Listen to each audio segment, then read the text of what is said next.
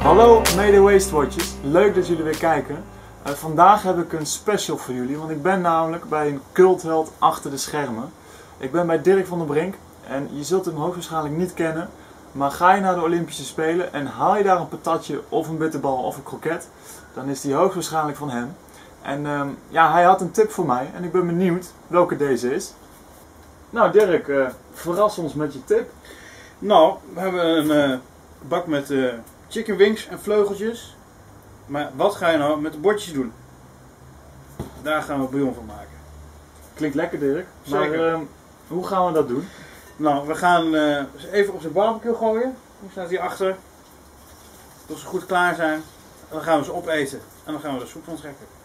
Maar zo kunnen we ze nog niet opeten. Nee, we gaan ze even bakken. Dus we gaan ze eens lekker bakken. Ja. Dan gaan we dat eens doen.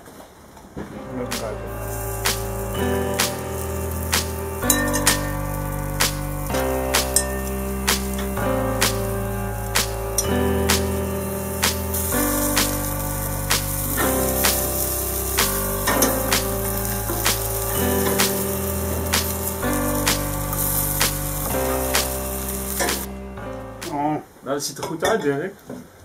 Dus nu moeten we alles opeten voordat we überhaupt bouillon kunnen trekken. dat klopt. Ja, dan trek ik even een biertje bij open hoor. Cheers. Proost.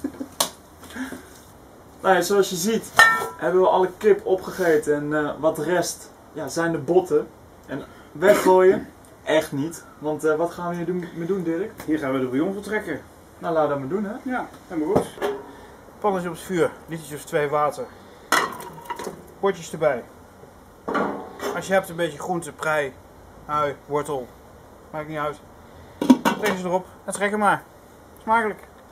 Nou, zo zien we maar mensen. Ehm, de pan staat nog even lekker op het vuur. Eh, ik zou dit voor drie uur minimaal even laten trekken. Zodat je ook zeker weet dat je een lekker bouillon krijgt.